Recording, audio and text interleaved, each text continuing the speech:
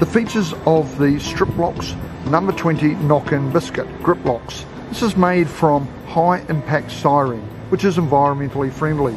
The slot size is a standard number 20 4mm slot from a biscuit cutter. The secret to this product is actually in the diamond cut lugs that are on the edges of this product that simply knock into place and very difficult to get back out. There is no requirement to glue these in. However, if you want to glue these in for extra strength, the beauty of this product is the glue will not sit on the surface as it does on a wooden biscuit and dries and expands the substrate. The glue will squeeze down through tiny little wee lines in the product here and sit inside the reservoirs. Once the glue is inside the reservoirs, it is attached to both sides of the substrate.